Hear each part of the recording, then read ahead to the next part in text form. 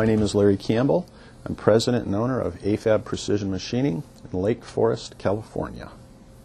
The company was started 41 years ago in 1971. That was done by my father, Joseph Campbell. Uh, we started out in the medical industry and have always been in the medical industry. And in 2008, I took over ownership of AFAB Precision. And as of 2010, I identified the need for um, new technology and automation it was part of the business plan to add this technology, and we were going to do it on other equipment, but because of issues with multiple companies, we pulled back and went with Makino because they had a turnkey system. The Makino FMS system has allowed us to improve our quality, improve our efficiencies, and our flexibility so that we can supply our customer with just in time parts. Well, our impression of Makino, uh, first and foremost, was the equipment, uh, but second to that was the people that we've been involved with. Uh, the support has been fantastic.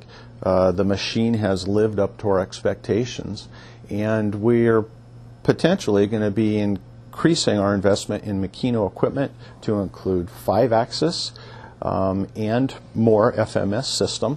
Uh, as we grow in the future and open up into new markets, we want to have the capability to allow us to service more and new customers. Over the last year or so, we've really been able to realize a lot of those goals that Larry saw four or five years ago, you know, when he first started envisioning putting new technology to use. Number of part numbers as well as the quantities of parts have just outpaced what we expected in 2012 versus 2013, 2014 the, ramp up has just been it's a breakneck speed, you could say. Um, although it's great, if we didn't have the Makino, uh, there's just no way we could, could have kept up with it. I understand they're very complex machines. There's a lot going on. Every once in a while, there's going to be a problem. So when I first walked on the floor here with the Makino system running, I was expecting some of these problems. Uh, it's a very complex tool magazine. You've got a robot that, um, a couple of robots that are in charge of making sure the tool is staged, the right tool is staged. Uh, you've got high performance spindle running very high RPMs. You've got a lot of chips that can build up in the machine. There's you know, 300 gallons of coolant that could cause problems. You've got a PC controller, you've got a system controller, you've got a machine tool controller. Uh, there's so many things that can go wrong. So my expectation was at some point I'm going to come in at 7 o'clock in the morning and the machine's going to be down because something happened. It threw a tool somewhere or coolant all over the floor. And my expectations in that regard have not been met. So the machine does not break. The machine just keeps making parts. The machine keeps making good parts.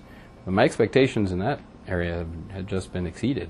It basically just keeps doing what it says it's going to do. And based on that, we've been able to take a number of jobs that we would run conventionally in, in other means and other machining centers and have the confidence of just putting it over on the Makino and never have to worry about it again. What matters most to AFAB Precision Machining would be the commitment to our customers. Uh, our customers' um, innovation provides for improved quality of life for many people, and um, we are not happy standing still. So we invest in technology and new processes to support that innovation, and we do that by using um, the Makino FMS system. Um, we view our customers' success as our success.